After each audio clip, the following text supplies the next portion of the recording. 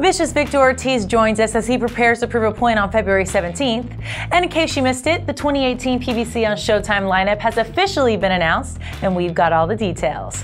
Welcome back, boxing fans. I'm Jordan Hardy, and this is PBC Jabs. Joining us this week ahead of his February 17th showdown against Devon Alexander is former welterweight champ Victor Ortiz. Victor, thanks for joining us. Hey, it's a great pleasure. Thank you for having me. You had an exciting knockout victory over Saul Corral back in July of 2017. What can we expect to see in your upcoming fight against Devon Alexander? It's going to be a great fight, and I tip my hat to, to their team for taking such a great fight. You know, um, he's a, he's a two-time world champion for a reason. Uh, we're ready as can be, and you know we will expect nothing less than a victory. So, ready to go. Your longtime rival Brandon Rios fights on the same day. Do you think he can pull out a win against Danny Garcia? And if so, what are the odds of you guys having your long-awaited showdown? You know, uh, at this point in time, uh, I don't see Rios doing much damage to uh, Danny Garcia. You know, um, I just don't see it. Rios and I should have happened a long time ago. I think Rios knows best than anyone uh, why the, the, fight did not take place or happen. But at this point in time, apparently, um, I've been dodging and I've been scared, and I guess I've been shivering in my pants. You know, so um, I uh, I don't I don't see him win. Unrelated to boxing, but we have to ask. You're a Patriots fan, so it's obvious who you're rooting for in the Super Bowl. But what's your prediction for the big game?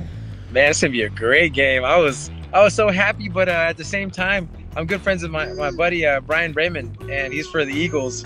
So I had a right when they made it, I, I kind of FaceTimed them, and I was like, uh, so he didn't pick up my FaceTime. Not right after the game, because obviously they're on the field, but after I sent him a video, I was like, dude, we're going heads up, bro.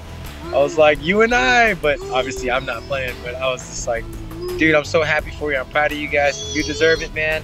And may the best team win. So at this point in time, I'm yeah, I'm a Patriot. Sorry. Thank you for taking the time to join us, and best of luck on February 17th. In case you missed it, Showtime announced their 2018 boxing schedule and it is jam-packed with great matchups through June. The lineup includes 10 events featuring 12 world champions and 12 world title fights. On February 17th, Danny Garcia takes on Brandon Rios.